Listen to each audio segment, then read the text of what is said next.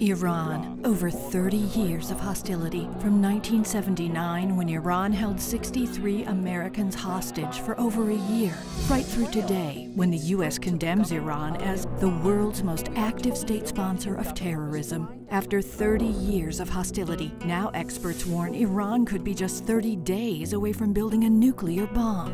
Tell Congress now is not the time to weaken sanctions. Now is the time for tougher sanctions.